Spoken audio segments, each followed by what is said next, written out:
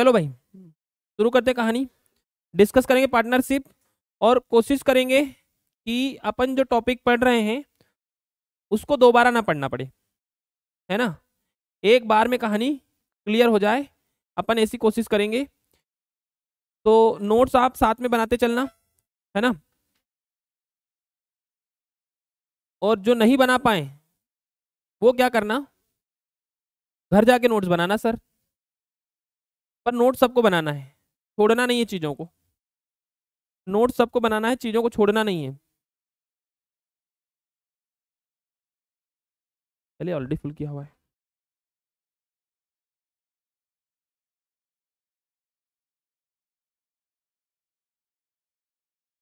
हम्म।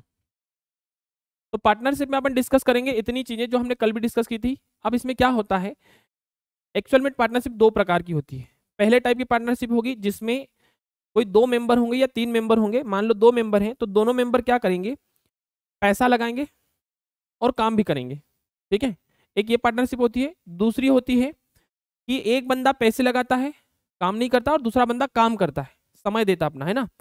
तो डिपेंड करता है कि कौन बंदा समय दे रहा है और कौन बंदा केवल पैसे दे रहा है है ना? या फिर ऐसा भी होता है कि पैसा भी दिया और समय भी दिया है है ना?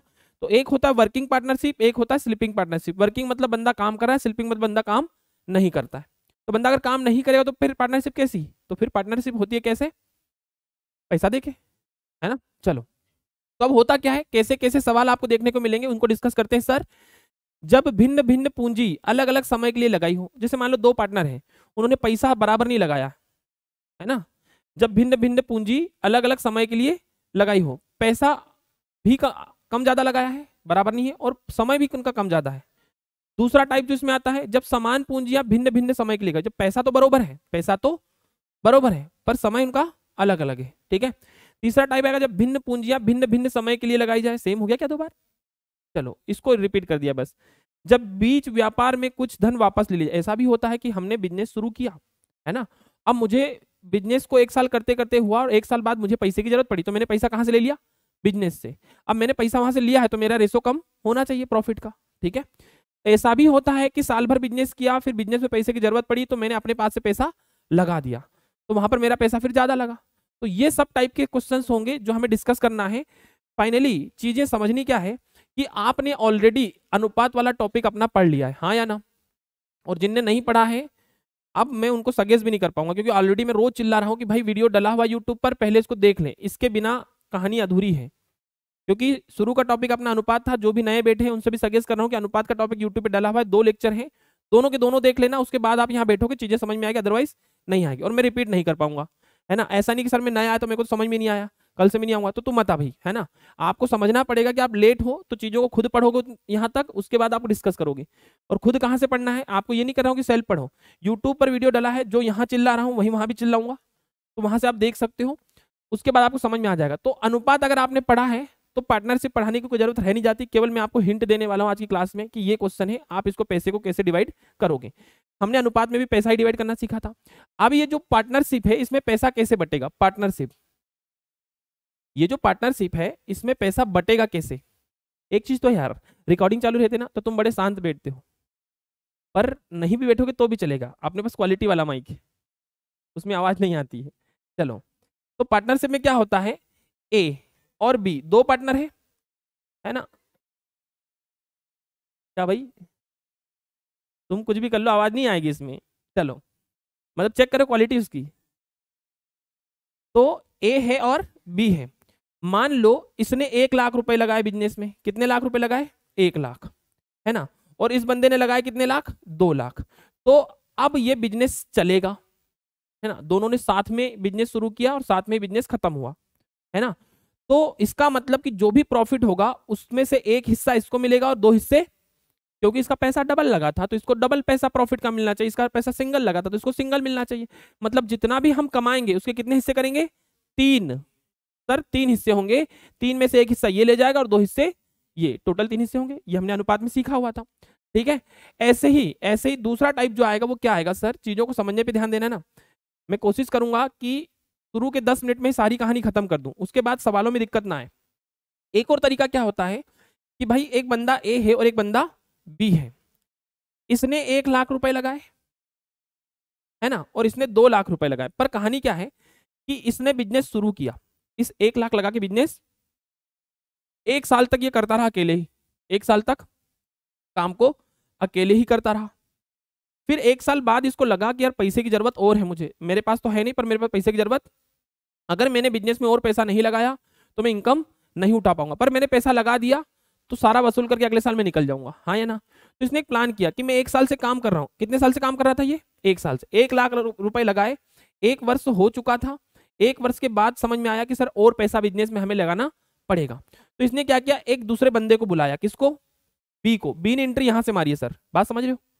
कहा कि, भाई, तू पैसा लगा, है ना? मुझे इतनी ज़रूरत है बिज़नेस में, इतना पैसा लगा, इसकी वजह से तेरे को प्रॉफिट दूँगा। तो इस बंदे ने पैसा लगाया। कितने लगाया इसने, मान लो? बोलो, कितना लगाए? दो लाख रुपए की ज़रूरत थी, दो लाख इसने लगा दिए। कितने लाख लगाए? दो लाख। और फिर एक साल तक बिज़नेस और चला। और फाइनली कितने साल हो गए? अरे, दो साल खत्म हो गए बिज़नेस को।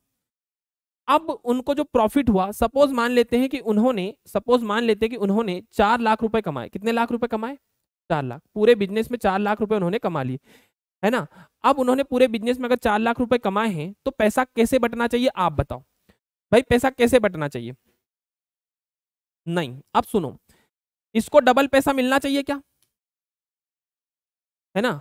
इसको डबल पैसा नहीं मिलना चाहिए। इसको डबल कब मिलता? जब शुरू से साथ में होता।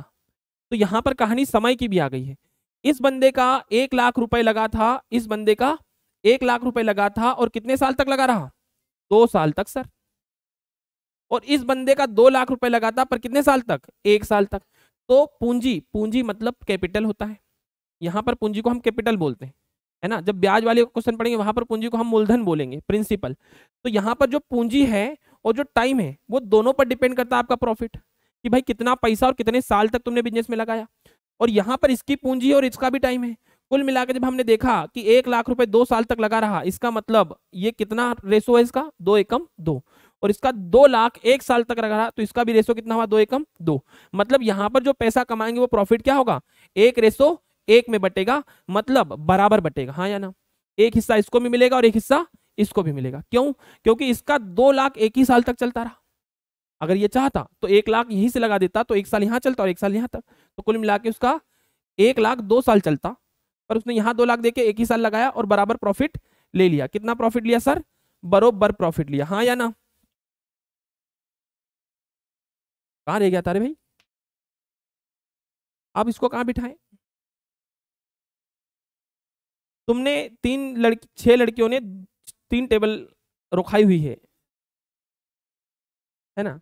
सुनो सुनो, तुम इधर आ जाओ, तुम इधर आ जाओ। एक एक लड़कियाँ दोनों इधर आ जाओगी तो बेहतर रहेगा। और तुम तो इष्ट मित्र हो तो तुम्हें साथ में बैठना चाहिए।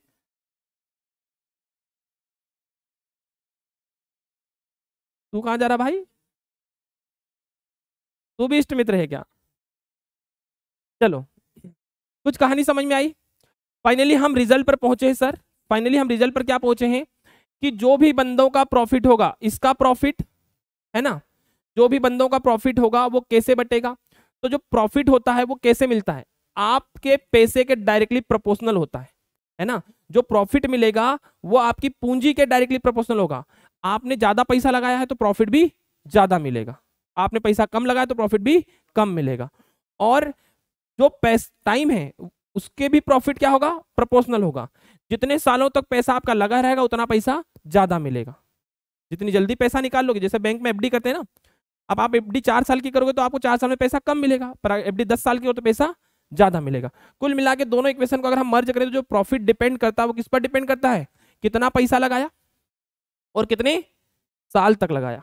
कुछ पल्ले पड़ा जो प्रॉफिट डिपेंड करेगा, वो कितना पैसा लगाया और कितने साल तक लगाया, इसके प्रोडक्ट मतलब गुणा पर डिपेंड करेगा। हाँ या ना?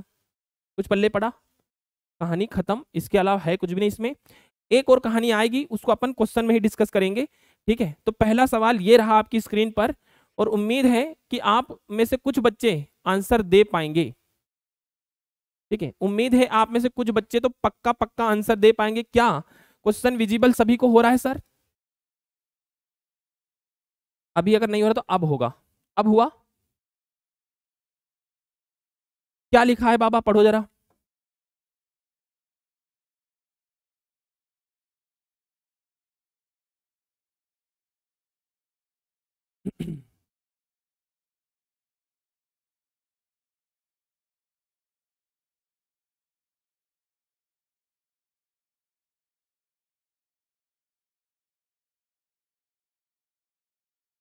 किसी का आंसर आए तो बताना। देखो, मैंने कुछ नहीं पढ़ाया, केवल अभी मैंने एक नॉलेज दिया आपको कि पार्टनरशिप क्या होती है। अब उस सवाल को पढ़ो। मैं ये कह रहा हूँ, आपका भले ही आंसर ना आए, पर कहानी समझ में आ जानी चाहिए कि व्यापार कैसे कर रहे हैं दोनों लोग। हैं? क्या पैंतीस हज़ार? तो क्या, बताना क्या पूछा गया है? मोहन को कितने पैसे मिले प्रॉफिट का? है ना? मोहन ने प्रॉफिट का कितना पैसा कमाया यही आपको बताना है। हाँ या ना? ठीक है, सर?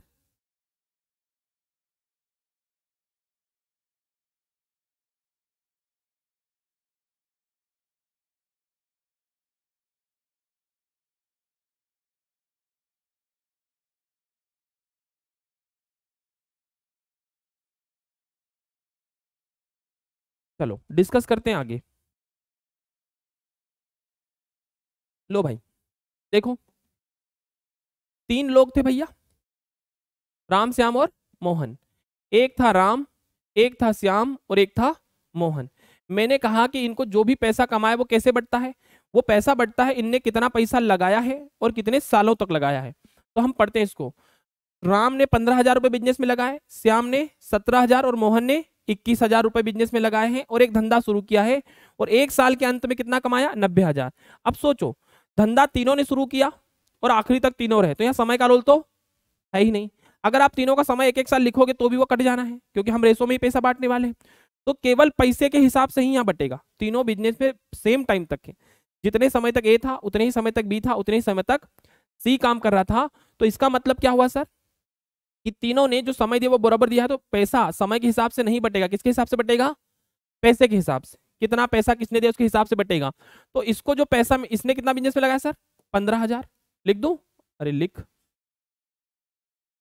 इसने कितना लगाया सर पंद्रह हज़ार को मैं एच लिख दू क्या?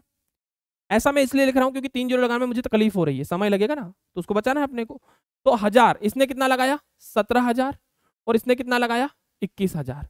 अब ये जो पैसा बटेगा, जो प्रॉफिट बटेगा, वो काय में बटेगा? इसके रेसो में बटेगा। इसने कितना पैसा लगाया, उसके अनुपात में ही क्या बटेगा? प्रॉफिट तो क्या मैं हज़ार से हज़ार से हज़ार उड़ा दू? तो इसका मतलब कि जो भी पैसा कमाएँगे, उसमें से पंद्रह हिस्से कौन लेके जाएगा? राम। सत्रह हिस्से कौन लेके जाएगा? श्याम। और इक्कीस हिस्से कौन ले जाएगा? मोहन। कुल मिला के हमारे पास जो पैसा है, उसको किस हिस्से में डिवाइड करना है? पंद्रह पंद्रह, तीस, बत्तीस, तैतीस, तिरपन। बोलो हाँ या ना? तिरपन हिस्सों में हमें पैसे को बांटना पड़ेगा। कितने हिस्सों में? तिरपन। क्या मैंने सही जोड़ा है? चलो। अब चूँकि हमारे पास जो प्रॉफिट है वो कितने हज़ार का है? नब्बे हज़ार का। इस नब्बे हज़ार को कितने हिस्सों में डिवाइड करना है? तिरपन हिस्सों में। उसमें से हमें किसको? मोहन को। मोहन को कितने देना है? इक्कीस हिस्से। सर, तिरपन हज़ार का जो वैल्यू है सॉरी तिरपन रेसो में जो तिरपन है, अनुपात में जो टोटल तिरपन है एक्चुअल में वो कितना है? नब्बे हज़ार के बराबर है। तीन ज़ीरो लगाऊ? इसका वैल्यू ये है, पता चल गया कि अनुपात में जो तिरपन है, उसका वैल्यू कितना है? नब्बे हज़ार इनका तीनों का जो प्रॉफिट अगर तिरपन होता तो ये पैसा बढ़ता अगर तिरपन हज़ार होता तो इसको पंद्रह हज़ार मिलते, इसको सत्रह हज़ार मिलते और इसको इक्कीस हज़ार मिलते। अगर तिरपन लाख प्रॉफिट होता तो इसको पंद्रह लाख मिलते, इसको सत्रह लाख मिलते, इसको इक्कीस लाख मिलते। मुझे एक बात पता चली कि तिरपन जो रेसो में आ रहा है एक्चुअल में प्रॉफिट तिरपन नहीं है। एक्चुअल में प्रॉफिट कितना है? नब्बे हज़ार। ये लिखने का एक तरीका है। त्रेपन जो रेसो में है, उसका जो वैल्यू है, वो कितना है सर नब्बे हज़ार है। त्रेपन का वैल्यू नब्बे हज़ार है। आपको जो भी पता करना है, उसका गुणा कर लिया करो। जो आपको पता चल गया है, उसको यहाँ लिखो और जो भी पता करना है, उसका गुणा कर लो। आपको जो पता करना है, वो क्या है? मोहन की कुल आय मोहन की कुल आय कितनी है, सर? 21 है। ये लो। ठीक है? तो आंसर कितना आएगा, सर? ये कट पिट रहा है कि नहीं कट पड़ रहा है? लगभग में आ रहा है। चलो तो कुछ मिस्टेक होगा इसमें डेटा में, है ना? कुछ डेटा में मिस्टेक हुआ होगा, इस वजह से ये डेटा आ रहा है। एक बार उसमें देख लेते हैं अपन, वो है। चलो देख लेंगे। तो ये जो कैलकुलेशन करोगे इसी से आपका आंसर मिला कितना आ रहा है लगभग भैया? पैंतीस हज़ार लगभग आ रहा है फ़िलहाल। कैलकुलेटर में क्या क्या तूने? चलो लगभग पैंतीस हज़ार आ रहा है। अगर ये एग्जैक्ट नहीं कट रहा है तो कोई इसमें दिक्कत ज़रूर है है ना? फ़िलहाल अपन मान लेते हैं कि लगभग पैंतीस हज़ार आ रहा है। मैं एक बार डेटा चेक कर लेता हूँ कि बुक जो थी उसमें क्या सवाल था। कॉपी कर लो भाई इसको। हम्म हम्म, हम्म, हम्म, हाँ तो कहानी समझ में आ गई यहाँ तक? कैलकुलेशन पे फोकस मत करो कॉन्सेप्ट समझ में आया या नहीं आया? चलो कॉन्सेप्ट अगर समझ आया तो कोई दिक्कत है नहीं। हम पढ़ रहे हैं, सर, साझा। साझा मेरे पास जो बुक है 202 पेज नंबर पर है, और जो 202 पे है, पहला सवाल जो है, वो अपना होना था ये।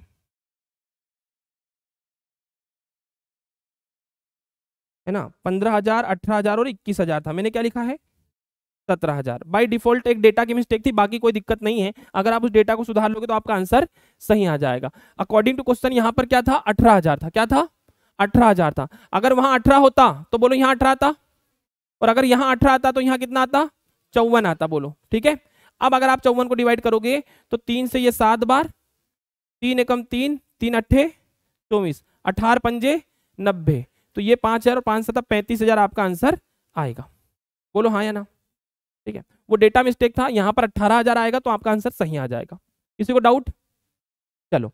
नोट आप घर भी कर सकते हो वीडियो आपके पास रहेगा और मैं पीडीएफ भी भेज दूँगा, ठीक है? आगे समझते हैं। आपको केवल क्लास में प्रैक्टिस करना है। कोशिश करना है कि हम कैसे जल्दी से जल्दी आंसर ला सकते हैं। हमारी स्पीड कितनी है कैलकुलेशन की, वो आपको देखना है। बताओ, क्या आंसर आ रहा है?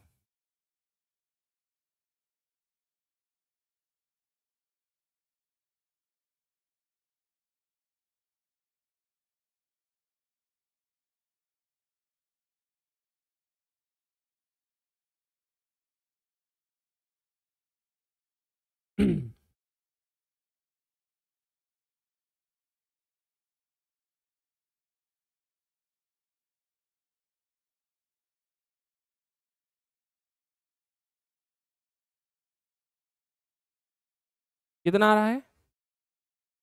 अट्ठाईस हज़ार।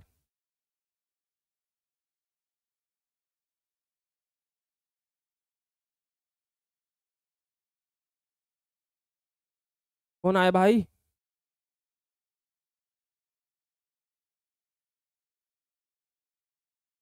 उसको खोलो, अंदर से लगा हुआ है, चाबी है ही नहीं, देखो। कितना आंसर है भाई? सबका आ गया? देखो, ऐसा तो संभव ही नहीं है। हालाँकि सवाल कठिन है नहीं, पर मुझे उम्मीद है कि तुम में से ऐसे बच्चे भी जिनका सबका आंसर नहीं आया होगा। पर हम आदत से लाचार हैं, हम नहीं पूछेंगे। तीन लोग हैं। रीता गीता और रीता गीता सीता। पैसा है कितना? दस हज़ार, बारह हज़ार और चौदह हज़ार। हज़ार हज़ार काट दें तो दस अरे रुक जरा। दस, बारह और चौदह। दो से काटेंगे तो बोलो पाँच छ और सात। मतलब जो भी पैसा कमाया वो बटेगा ऐसे, पर थोड़ा ध्यान दो।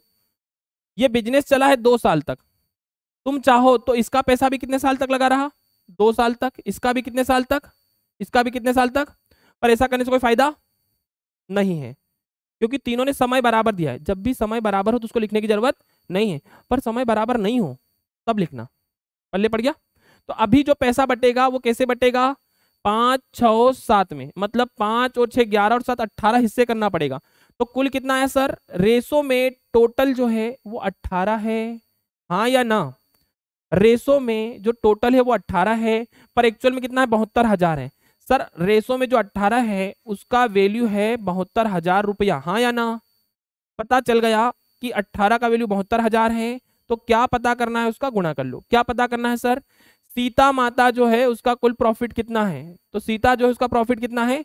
चौदह है। ये लो। अठारह चौक बहत्तर और चौदह गुना चार। ऐसा क्या? तो कितना लिखूं? सात हज़ार। कितना आंसर आया?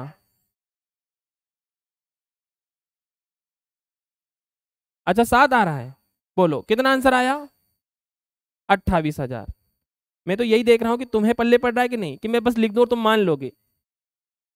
तो पता लगे चौदह, बारह, दस, जो आपने रेसो निकाला है, वो सिंपलेस्ट फॉर्म वाला जो है, वो होता है। हमने अनुपात में चिल्ला चिल्ला के बोला हुआ है कि अनुपात किसको बोलते हैं? जो सरल रूप में हो। तो ये सरल रूप नहीं है, ये है। तो हमने इस डेटा को अगर कैलकुलेट किया है तो वैल्यू भी सेवन को लिखना पड़ेगा, न कि फोर्टीन को। पल्ले पड़ गया भाई। चलो, बढ़े आगे। अगला सवाल ये रहा आपकी स्क्रीन पर। टूट पड़ो भाई। बताओ कितना आंसर आ रहा है।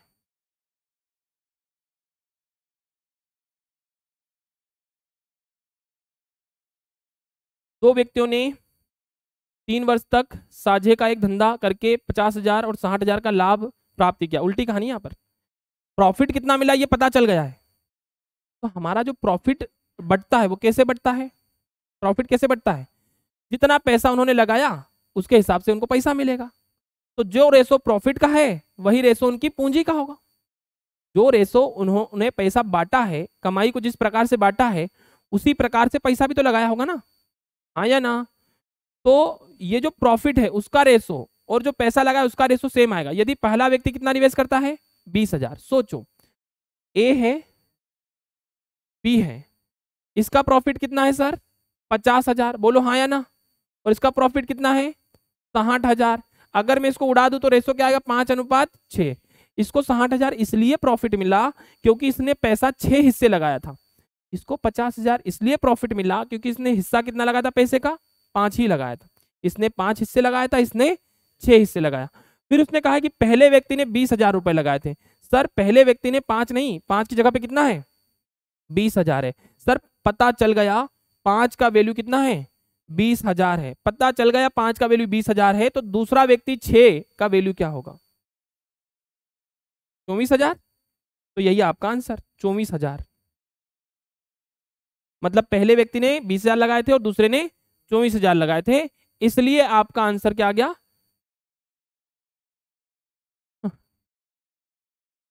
ठीक है यहाँ तक? किसी को डाउट हो तो बोलो भाई। क्लियर यहाँ तक? जल्दबाजी में नहीं पढ़ते, थोड़ा आराम से चीज़ों को धीरे धीरे क्वेश्चन का लेवल बढ़ाएँगे। अगर अभी से थोड़ा सा हाईफाई कर दिया तो दिक्कत आएगी। हो सकता है कुछ महा अनुभवों को लग रहा होगा कि सरल सरल सवाल चल रहे हैं।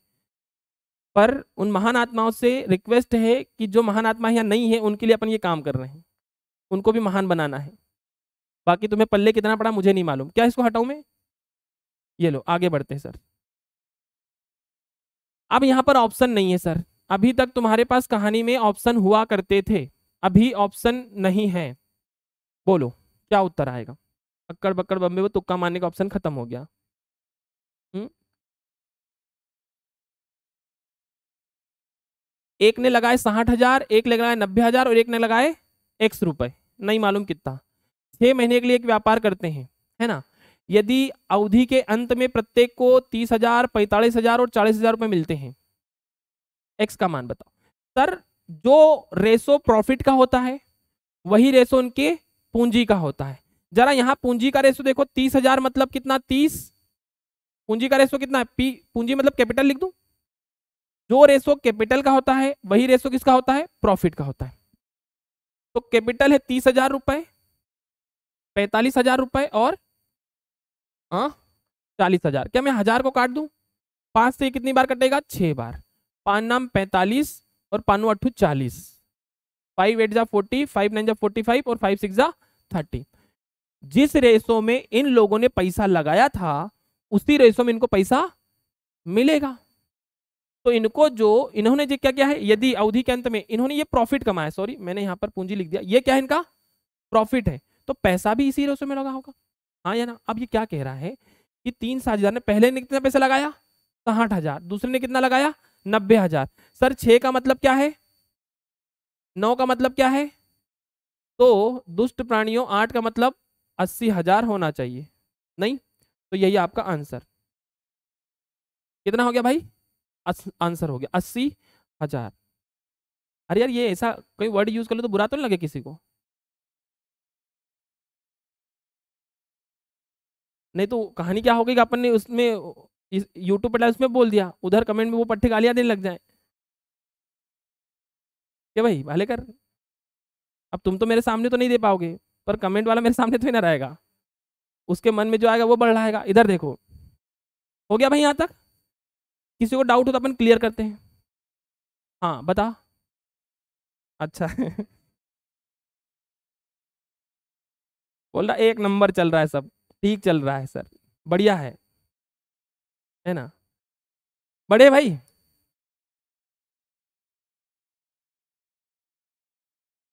एक नंबर चल रहा है, हमको समझ में आ रहा है, पर हम हमारे साइड वाले हीरो जो दूसरी जगह पढ़ रहे होंगे, उनको कभी नहीं बताएँगे सर क्योंकि वो भी सीख जाएगा। चलो, दो व्यक्तियों में, साझे में एक व्यापार, इसका आंसर तुम ही बताओ अगर एक नंबर चल रहा है तो।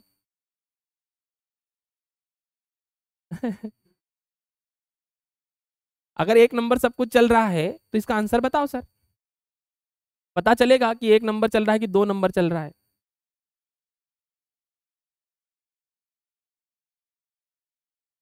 हैं? कितना आया? तुक्का मार रहे हो? सही में दस हज़ार आ रहा है। चलो भाई, सही आंसर। दस हज़ार सही हो सकता है क्योंकि दो आंसर आए हैं दस हज़ार तो दोनों ने दस हज़ार दिया तो तुक्का तो मारा नहीं होगा। दो व्यक्ति हैं, उन्होंने एक व्यापार शुरू किया। पहले व्यक्ति की पूंजी तीन साल तक लगी रही और दूसरे व्यक्ति की पाँच साल तक। अब मेरी बात सुनना, सर। जो पैसा बढ़ता है, जो प्रॉफिट बढ़ता है, प्रॉफिट ए का और प्रॉफिट बी का, ये जो पैसा बटेगा, वो कैसे बटेगा? इनने कितना पैसा लगाया और कितने साल तक लगाया? इसने भी कितना पैसा लगाया और कितने साल तक लगाया? अब यहाँ साल अलग अलग इसलिए मुझे लिखना पड़ रहा है। अभी तक मैंने केवल पूंजी की बात की थी या टाइम की की थी। अभी यहाँ पर ये देखना है कि जो भी प्रॉफिट पी लिख दो ना, सर पल्ले पड़ता है? प्रॉफिट ए का और प्रॉफिट बी का।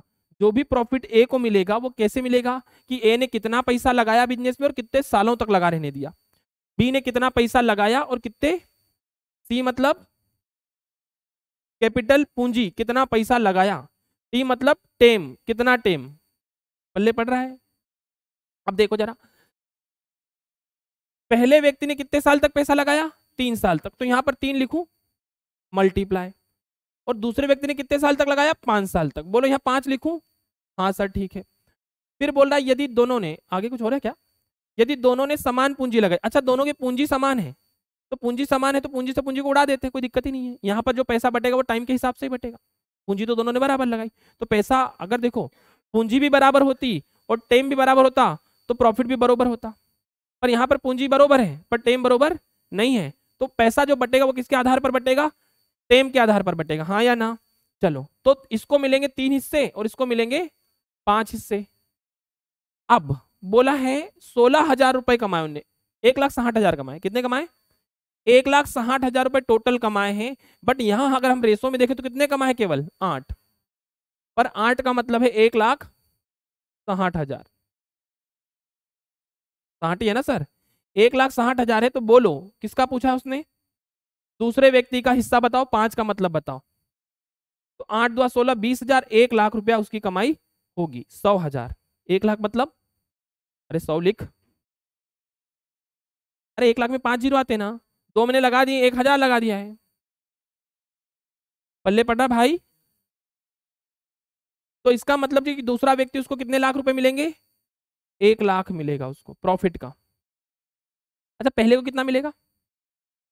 तो बचा हुआ उसका साठ हज़ार। टोटल कमाई में से जो पैसा बचा, वो दूसरे का। आगे बढ़े, सर। अगला सवाल ये रहा स्क्रीन पर। बताओ जरा कितना आंसर है इसका? राम रहीम।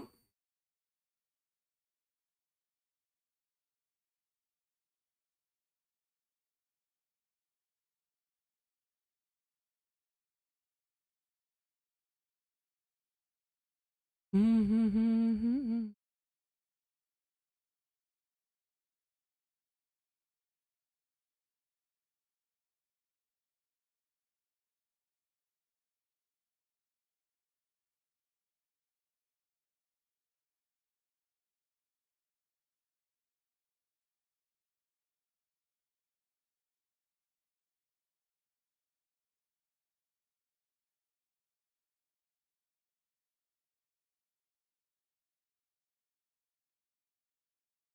कुछ पल्ले पड़ रहा है जज साहब कितना आंसर आया? चौबीस हज़ार। हम्म? चलो।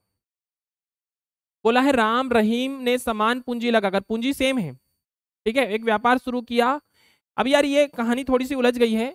आपने इधर ए बी यूज़ किया हुआ इधर भी ए बी लिख लो। ये राम ए रहीम ए और राम बी तुम्हें पल्ले पड़ा? मैंने क्या बोला? चलो, बढ़िया है। यही सोच रहा हूँ कि तुम्हारा ध्यान है कि नहीं। चलो। दोनों ने समान पूंजी लगाई मतलब पूंजी का रोल तो यहाँ पर है ही नहीं। रोल होगा किसका? टेम का। है ना? ए की पूंजी कितने महीने तक लगी रही? आठ महीने तक। और बी की पूंजी बाद के छह महीने तक। व्यापार कितने साल का था? कुछ बोला उसने? है ना? छह महीने तक लगी। बस। व्यापार का कोई नहीं। बस इसने पैसा आठ महीने लगा और इस महीने छह। तो इसका हिस्सा होगा आठ हिस्से और इसका होगा छह हिस्से। तो एक को मिलेंगे आठ हिस्से और दूसरे को मिलेंगे मतलब चार अनुपात तीन। बोलो हाँ या ना? तो टोटल कमाई कितनी होगी? सात। पर एक्चुअल में टोटल कमाई कितनी उनकी? बयालीस हज़ार। सात का मतलब कितना है, सर? पता चल गया, बयालीस हज़ार है। तो क्या पता करना है हमको? राम। राम मतलब बोले तो ए। ए को कितना लाभ होगा? चार। तो चौबीस हज़ार। पक्का? आंसर आएगा चौबीस हज़ार। आगे बढ़ते हैं, सर। आंसर होगा, सर, चौबीस हज़ार। ये लो, अगला सवाल स्क्रीन पर आपके। अब यहाँ पर दोनों चीज़ें आई है, सर। इस सवाल में तुम्हें दोनों चीज़ें देखने को मिलेगी। पूंजी भी अलग है और टेम भी अलग अलग है। पूंजी भी अलग इस केस में और टाइम भी अलग अलग है। तो मैथ्स का अपना एक पोर्शन लगभग एंड हो गया। एक पोर्शन, जिसमें हमारे लगभग पाँच अध्याय, चैप्टर हो चुके हैं। अनुपात, समानुपात, आयु वाले सवाल, औसत वाले सवाल पार्टनरशिप वाले और एक और एक और क्या था यार? मिश्रण, बरोबर। तो ये पाँच अध्याय में कुछ भी नया नहीं है, सब एक जैसा है। हम अभी जो पढ़ रहे हैं, इसका मतलब हम अनुपात की प्रैक्टिस कर रहे हैं, देखा जाए तो। अनुपात जो चैप्टर हमने पढ़ा है, उसकी क्या चल रही है? प्रैक्टिस चल रही है, बाकी कुछ भी नहीं है।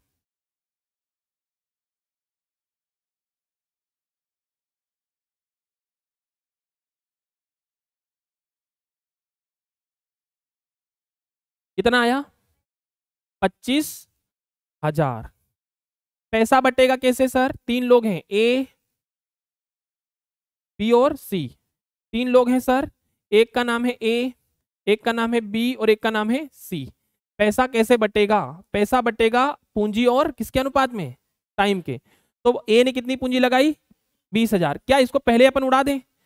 ये तीन ज़ीरो, ये तीन ज़ीरो और ये तीन ज़ीरो, है ना? पाँच से ये चार बार, पाँच से ये पाँच बार, पाँच से छह बार। तो पूंजी का रेशो क्या होगा? चार, पाँच छ चार, पाँच छ ये किसका रेशो आया? पूंजी का। अब किसका रेशो निकाले अपन? ए की पूंजी तीन साल तक रही। ए की पूंजी कितने साल तक? तीन साल तक। बी की पूंजी कितने साल तक? दो साल तक। और सी की पूंजी एक साल तक। ये तीन साल, ये दो साल और ये एक साल। मतलब इसको कितने हिस्से मिलेंगे? बारह। इसको कितने मिलेंगे? दस। और इसको कितने मिलेगा? छ मतलब कितना मिलेगा टोटल? अट्ठावीस टोटल पैसा अट्ठाईस होगा तो ये पैसा बट पाएगा, जबकि टोटल कमाई कितनी उनकी? सत्तर हज़ार। कुल सत्तर हज़ार रुपए का लाभ हुआ तो बी का हिस्सा कितना होगा? कुल इन्होंने कितना कमाया? सत्तर हज़ार। अट्ठाईस हिस्से हैं और टोटल कितने हज़ार हैं? सत्तर हज़ार। सर, अट्ठाईस का मतलब है सत्तर हज़ार। अट्ठाईस का वैल्यू कितना है? पता चल गया कि अट्ठाईस का वैल्यू सत्तर हज़ार होता तो हमें क्या निकालना है, सर? बी मतलब दस पता करना है। बोलो हाँ या ना। उड़ा दो। आंसर डेसिमल में आएगा क्या? कट रहा है? हाँ चलो, ये एक हज़ार हो गया और ये चार हो गया, है ना? चार से कितनी बार कटेगा? ढाई सौ बार और ढाई सौ गुणा दस, पच्चीस सौ रुपया। सही है? अरे लो, खुश। चेक कर लेना, पच्चीस सौ की पच्चीस हज़ार। पच्चीस हज़ार आएगा, ठीक है? चलो तो आंसर आपका क्या हो गया? पच्चीस हज़ार। आंसर क्या हो गया? पच्चीस हज़ार। कैलकुलेशन पे फोकस मत करो, कौन से पे फोकस करो? कैलकुलेशन हम बचपन से सीख रहे हैं। गुणा भाग आपको अच्छे से आता है। ये तुम्हें भी पता है और मुझे भी पता है। सिर्फ़ पिच पिच करने को लगा दो। चलो भाई, शुरू करें कहानी को।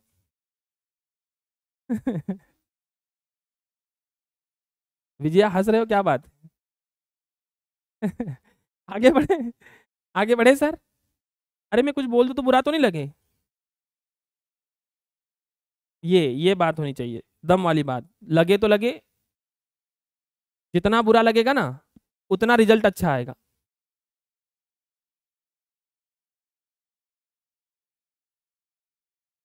ये क्या लिखा है? और। है ना? वो और लिखा है। अच्छे शब्द पढ़ते नहीं आएँगे तुमको। उसको तीन बार पढ़ के देख रहे हो सब्जेक्ट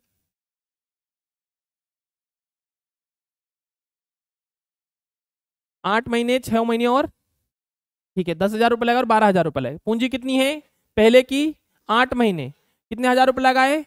दस हज़ार। और दूसरे ने छह महीने। कितने हज़ार लगाए? बारह हज़ार। हज़ार से हज़ार उड़ा दिया। है ना? ये कितना हो गया? अस्सी। और ये कितना हो गया? बहत्तर। किससे काट दें? आठ से। आठ धाम अस्सी, आठ नाम बहत्तर। इसको नौ हिस्से मिलेंगे और इसको दस मिलेंगे। कितना प्रॉफिट है सर पंचानवे सौ का लाभ प्राप्त हुआ है तो रमन रमन का लाभांश कितना होगा? रमन मतलब पहला बंदा। चलो, उन्नीस का मतलब कितना है?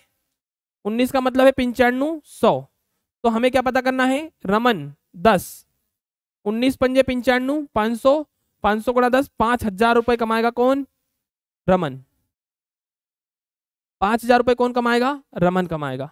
यहाँ पर है टाइम और कैपिटल। टाइम और कैपिटल। जो पैसा बटेगा, वो ऐसे ही बटेगा। टाइम और कैपिटल के अनुपात में पैसा बटेगा। किसी को डाउट यहाँ तक? डाउट वाले सवाल तो कल आएँगे। कल की क्लास आपने इसकी एंड होगी, इस टॉपिक की। और परसों की क्लास में सभी से मेरी रिक्वेस्ट है कि अपसेंट मत रहना। जैसे अनुपात की क्लास में अगर आप अपसेंट थे तो अगले आठ दिन, दस दिन, पंद्रह दिन आपको दिक्कत आई होगी। ऐसे ही कल ये खत्म होगा, परसों नई कहानी चालू होगी, इससे पूरी हट के तो उस कहानी में अगर आप अपसेंट हैं तो जिम्मेदार आप खुद रहेंगे अगले पंद्रह बीस दिन तक। क्योंकि जैसे हमने अनुपात पढ़ा अनुपात में जो हमने सीखा उसके अलावा किसी चैप्टर में हमने कुछ यूज़ किया ही नहीं। चाहे आपने मिश्रण पढ़ा हो चाहे आपने आयु वाले सवाल पढ़े हो चाहे आपने पार्टनरशिप पढ़े हो चाहे आपने औसत पढ़ा हो सब में क्या रूल लग रहे थे? अनुपात की। ऐसे ही यह खत्म होगा फिर हम जो यूनिट चालू करेंगे उसमें जो चीज़ें सीखेंगे वही अन, वही कॉन्सेप्ट आपके आगे के तीन चार चैप्टर में लगेंगे। इसलिए उस चैप्टर में आपका होना ज़रूरी है। और भाई एक और चीज़ है, तुम लोगों को है ना, मैं फिर कह दूँ, आपको सबको पता है, होशियार भी हो, मुझे भी मालूम है, आपको भी मालूम है। ठीक है? आप लोगों के पास ले दे के जो है, ये 2023 का ही साल है, सर। है ना? इसमें अगर बाजी मार लो तो मार लेना, नहीं तो फिर निकल लेना चुपचाप। हाथ पीले कर लेना, इधर देखो। तो नहीं, दूसरा ऑप्शन क्या है फिर? घर तो नहीं बैठे रहेंगे भाई। कौन बोल रहा है? क्या बोला भाई? क्या बोला? क्या बोला? क्या बोला भाई? कुछ काला काला कुछ बोला कुछ दिन यार। मैंने पीला करने का बोला बे, दुष्ट प्राणी। चलो, यहाँ डिस्कस करते। 2023 में है, आपके पास अगर नौकरी आनी होगी तो आ जाएगी और 2023 में तुम नहीं नौकरी पाए तो इसका मतलब तुम्हारी वो वैल्यू है ही नहीं कि तुम पालो हाँ कोई नया बच्चा अब भी तैयारी करने भिड़ा है तो हो सकता है कि उसको हिम्मत रखनी चाहिए दो साल और, है ना? वो मत भागना। पर ऑलरेडी दो साल से हिम्मत रख के यहाँ तक आया है। है ना? तो अब मैं कहूँगा कि चार महीने हिम्मत रखो, फिर हिम्मत हार जाना। तुम भले कहोगे कि, सर, ऐसा तो कोई टीचर आज तक नहीं कहता है। तो वो शायद इसलिए नहीं कहते, उनको कोचिंग चलाना है। मुझे भी चलाना है, पर मैं क्लियर कर रहा हूँ, अगर आप इस बार नौकरी नहीं ले पाए तो फिर आप में वो एबिलिटी है ही नहीं। आप समय खराब मत करना। जितना सीखे हो, वो आपके जीवन में काम में आ जाएगा। जो अभी तैयारी करने है, उसको कम से कम दो साल, तीन साल देने चाहिए, है ना? पर दो, तीन साल जो दे चुका उसको चौथा साल नहीं देना चाहिए। वो गलत तरीका है। और इस बार आपके पास नौकरियाँ बहुत सारी है। देखो फॉरेस्ट विभाग में नौकरी आई है। अभी नोटिस डला है। उसके बाद जेल प्रहरी में आ चुकी है। है ना? पटवारी तुम दोगे ही दोगे। और कौन सी है? S S C G D constable की है ही है। आबकारी विभाग की है ही है। तो एक दुई तीन, चार, पाँच, एक, दो तब तक आ ही रही है। है ना? शिक्षक भर्ती आ जाएगी। अभी नोटिस डला, उसका भी कल पेपर में भी आया। है ना? शिक्षक भर्ती के बाद कांस्टेबल और एसआई दोनों आने वाली है। तो कुल मिला के तुम्हें अगले चार, पाँच छः महीने हर महीने एग्ज़ाम देनी है। तो यहाँ नहीं तो यहाँ यहाँ नहीं तो यहाँ, ये नहीं तो कोई और सही और ये नहीं तो कोई और सही। पर तुम्हें इनमें से कहीं ना कहीं बाजी माननी पड़ेगी। तो यहाँ अगर बाजी मार ली तो ठीक है। है ना? तो इनमें से कोई सिलेक्ट कर लिया तो ठीक, नहीं तो फिर तुम्हें कोई सिलेक्ट नहीं करेगा। दोनों चीज़ें चलो भाई, अगला सवाल देखो जरा। बाकी सिलेक्शन तो होता रहेगा। अगला सवाल मेरे पास है नहीं तो मैं बोल के बता देता हूँ। ठीक है? लिखो भाई अगला सवाल। बस दस मिनट की कहानी है, उसके बाद तुम्हें भाई रिलीज़ कर देंगे, है ना? टेंशन ना लो।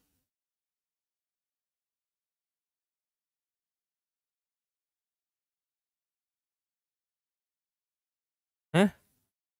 क्या बे? चलो भाई, सवाल लिखो। कितना आठवां सवाल किया ना अपन ने? क्या नाम था? राम श्याम मोहन, क्या था?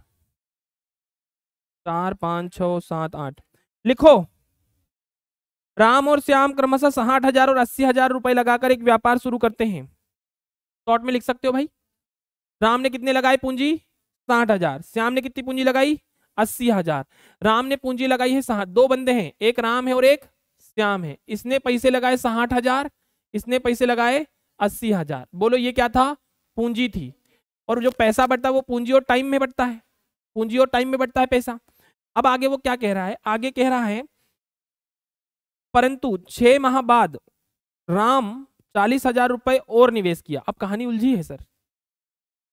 कहानी को समझना। इन्होंने ये व्यापार शुरू किया।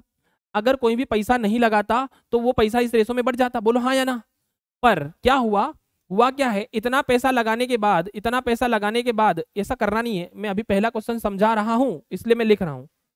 छ महीने बाद आफ्टर सिक्स मंथ हीरो बड़ा हो गया था। चलो, छह महीने बाद क्या हुआ था? छह महीने बाद बोल रहा है कि राम ने चालीस हज़ार रुपए और निवेश किया। राम ने पहले कितने लगाए थे? इसने चालीस हज़ार रुपए धंधे में और लगा दी। तो बोलो कितने हो गए इसके? अब वो एक लाख लगा चुका है। सौ हज़ार लिख दू? एक लाख रुपए उसके बिज़नेस में अब लग चुके हैं। जबकि नौ महीने बाद श्याम ने बीस हज़ार वापस निकाले। कितने महीने बाद श्याम ने? नौ महीने बाद। ध्यान समझना। इसने नौ महीने के बाद आफ्टर नाइन मंथ इसको ज़रूरत पड़ी पैसे की तो कितने निकाल लिए? बीस हज़ार। इसने बीस हज़ार निकाल लिए। तो इसके बच्चे कितने बिज़नेस में आप? इसके आप धंधे में साठ हज़ार रुपए चल रहे हैं। बोलो हाँ या ना। ये कहानी समझ में आ रही है? मैं कुछ भी नया नहीं कर रहा हूँ, बस सवाल को लिख रहा हूँ अभी, क्योंकि मेरे पास सवाल है नहीं तो मैं ऐसे लिख के समझा रहा हूँ। ठीक है? अब वो कह रहा है कि वर्ष के अंत में तिरानु हज़ार का लाभ हुआ तो प्रत्येक का लाभ क्या होगा? साल के आखिरी में टोटल प्रॉफिट कितना हुआ है सर उनका? तिरानु हज़ार रुपए। साल के आखिरी में टोटल तिरानु हज़ार रुपए इन लोगों ने कमाए। साल के आखिरी में टोटल इन्होंने कितने हज़ार कमाए? तिरानु हज़ार। अब कौन बच्चा मेरे बिना बताए इसका आंसर बता सकता है? कहानी क्या है? कहानी ये है कि जो पैसा बढ़ता है वो कैसे बढ़ता है सबको मालूम। ये तो मैंने क्वेश्चन लिखा पूरा। एक बार रिपीट करते हैं। कह रहा है कि राम और श्याम ने साठ हज़ार और अस्सी हज़ार रुपए लगाकर एक व्यापार शुरू किया। फिर कह रहा है कि आफ्टर सिक्स मंथ छह महीने के बाद राम ने चालीस हज़ार रुपए बिज़नेस में और लगाए। राम ने और कितने पैसे दिए यहाँ पर? चालीस हज़ार रुपए और दिए। साठ हज़ार तो ऑलरेडी बिज़नेस में शुरू में दिए थे।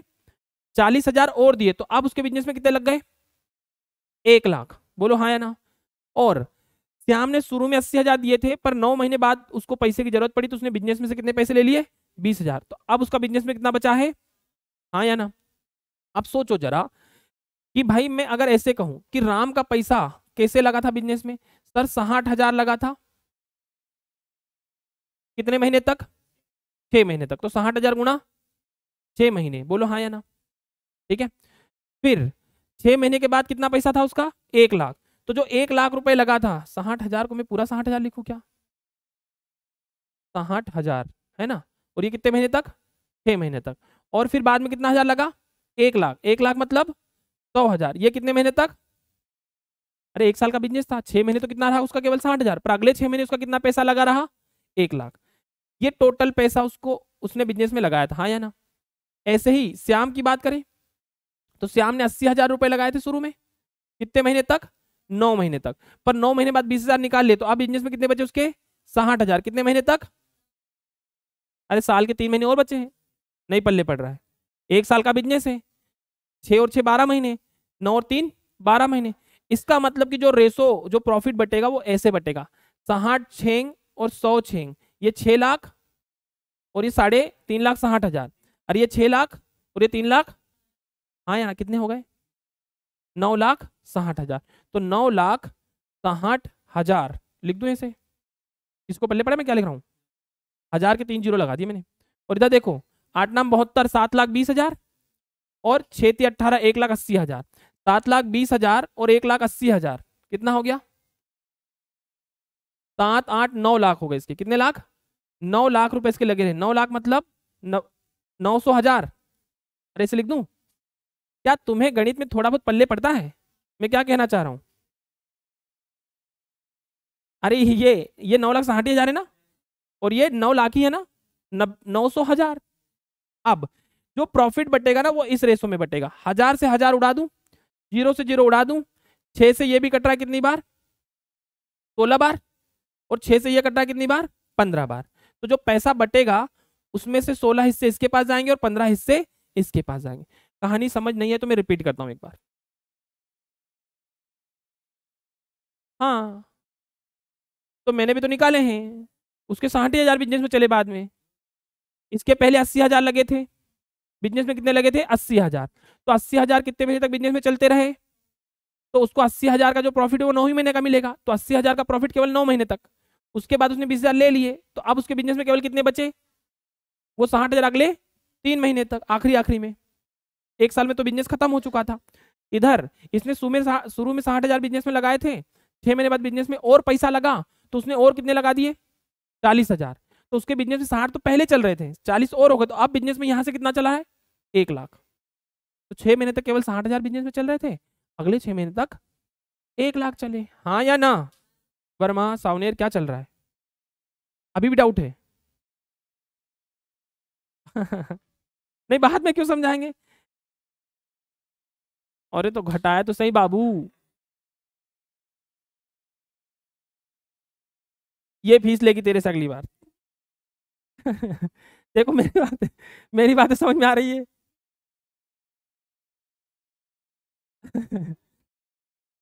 इसने साठ हज़ार शुरू में लगाए थे। हाँ या ना? छः महीने तक साठ हज़ार चलता रहा। साठ हज़ार कितने कितने महीने तक? छः महीने तक। उसके बाद इसने कितने हज़ार बिज़नेस में दिए और? चालीस हज़ार। कितने दिए इसने और? चालीस हज़ार और दिए। तो अब इसका बिज़नेस में कितना रहा? एक लाख। बिज़नेस कितने साल का है? एक साल का। छह महीने तो हो चुके हैं। अगले छह महीने ही है। तो ये वाला पैसा छह महीने तक। और ये वाला पैसा? ये कहानी खत्म। मतलब जो राम है, उसका पैसा इस तरीके से लगा रहा। अब बात करते हैं श्याम की। श्याम ने कितना पैसा लगाया? अस्सी हज़ार। कितने महीनों तक? नौ महीने तक चहल पहल कुछ नहीं हुई उसके साथ। हाँ या ना? आफ्टर नाइन मंथ तकलीफ़ में बंदा आया और उसने कितने हज़ार निकाले? कहाँ से? बिज़नेस से। उसके बिज़नेस में कितने थे? अस्सी हज़ार। अस्सी में से बीस निकाले। अब बिज़नेस में कितने बचे हैं? अब बिज़नेस में साठ ही लगे हैं। नौ महीने ऑलरेडी हो चुके हैं। बिज़नेस था एक साल का तो तीन महीने बोलो इधर। तो ये वाला पैसा लगा रहा नौ महीने तक? और ये वाला पैसा लगा रहा? अब क्लियर है कि बाद में और समझाऊं? अब क्लियर है। चलो। इसके सोलह हिस्से और इसके टोटल प्रॉफिट कितना है? तिरानवे हज़ार का। सोलह और पंद्रह कितना होता है सर? इकतीस। इकतीस का जो वैल्यू है, वो किसके बराबर है? तिरानवे हज़ार के बराबर है। बोलो हाँ या ना। तो सोलह का वैल्यू क्या होगा और पंद्रह का वैल्यू क्या होगा? दोनों निकालना है। सोलह का वैल्यू क्या होगा और पंद्रह का क्या होगा? सोलह से गुणा करोगे तो सोलह आएगा, पंद्रह से गुणा करोगे तो पंद्रह आएगा। अभी किसी को डाउट हो तो बताओ, सर। देखो क्लास में अगर आप एक भी चीज़ छोड़ छोड़ के आगे बढ़ रहे ना अगर आप चीज़ें छोड़ छोड़ के आगे बढ़ रहे हो तो सर दिक्कतें तो आएगी। और अगर थोड़ा सा घर जाके आज ही मेहनत कर लिया तो तुम्हें इस भीड़ से ओवरटेक करने में कोई नहीं रोक पाएगा। और तुम इस भीड़ से ओवरटेक हो गए तो बाकी भीड़ को भी ओवरटेक करने में आपको कोई नहीं रोक पाएगा। ओवरटेक आपको खुद होना है। मेरे पढ़ाने से आपका सिलेक्शन नहीं होता, ना ही दुनिया में किसी टीचर के पढ़ाने से आपका सिलेक्शन होता है। सिलेक्शन होता है आपकी खुद की तैयारी से। अगर मेरे पढ़ाने से सिलेक्शन होता तो तुम सबका होना चाहिए। जिस दिन तुम सबका सिलेक्शन एक साथ हो जाए मतलब मेरी क्वालिटी है। तो मैं कहूँगा कि मुझमें दम है। पर अगर मेरे पढ़ाने पर तुम सबका नहीं हो रहा, कुछ ही बच्चों का हो रहा तो फिर उस बच्चे में ही दम है। क्या हंस रहा है? कभी कभार तो मुझे ऐसा लगता है, ऐसे घूर के सब देखते हैं कि तुम्हें पल्ले भी पटा, मैं क्या कह रहा हूँ? मतलब ऐसा लगता है कि जैसे कोई दूसरे गोले से आके बोल रहा तो मज़ा आ रहा है बोलने में। देखो, पल्ले कुछ नहीं पड़ा पर मज़ा तो आ रहा है, सर। एलियन की तरह कुछ आवाज़ आ रही है तो मज़ा आ रहा है। नहीं पल्ले पड़ा। थोड़ी सी चीज़ों को रिपीट आप खुद भी घर करना। कल की क्लास हमारी और बची इस केस में तो हम थोड़ा सा और लेवल बढ़ा के काम करेंगे, है ना? बहुत ज़्यादा नहीं, बस थोड़ा सा अरे करूँगा ना। कौन से पहले? अरे मैं खुद नहीं बना पाता, ये तो अभी जल्दबाजी में सात आठ बजे उठ के बनाए तुम्हारे लिए। नहीं तो ऐसे ही लिखता पूरा। पर ठीक है, मिल गया, सुबह जल्दी उठ गया तो हो गया काम। एक तो अपने पैसे है नहीं टाइपराइटर अपने पास है नहीं, जो है अपनी जे ले दे के। क्या? शाम का क्या? आपकी क्लास जो रहेगी मॉर्निंग में आठ से ग्यारह रहेगी इवनिंग में चार से सात रहेगी। आप में से कोई बच्चा दोनों टाइम बैठना चाहे तो दोनों टाइम बैठ सकता है, तुमको एक्स्ट्रा फ़ीस नहीं लगेगी। ये बेच खत्म होने के बाद अगली बेच में भी पढ़ोगे तो तुमको फ़ीस नहीं लगेगी। बस तुमने पढ़ना चाहिए। आपसे जो फ़ीस ली जा रही है वो पढ़ाने के लिए जा रही है। जो आपने पे किया है वो पढ़ाने का किया है। आप एक बार अगर पढ़ के सीख गए हो तो उम्मीद है कि दूसरी बार आप यहाँ नहीं बैठोगे। पर अगर नहीं सीखे हो तो आपने उसका तो पैसा दिया था तो सीखूँगा। बात समझ में आ रही है? क्योंकि आप एक बार ये चीज़ें पढ़ चुके हो, सोचो। और अगर दूसरी बेच में मैं फिर से ये पढ़ा रहा हूँ, तुम फालतू यहाँ बैठे हो तो आपका टाइम खराब हो रहा है। तो आपको खुद समझना पड़ेगा। और अगर पहली चीज़, पहली बेच में आपको चीज़ें कुछ दिक्कतें दे रही थी, बहुत अच्छे से क्लियर नहीं हुई तो आप दूसरी बेच में बैठो। वहाँ कोई दिक्कत नहीं है। अपने पास जगह की उम्मीद है ना है। शटर खोल देंगे तो बाहर भी बिठा देंगे। बस चाहिए इतने बच्चे, आना चाहिए। ठीक है भाई?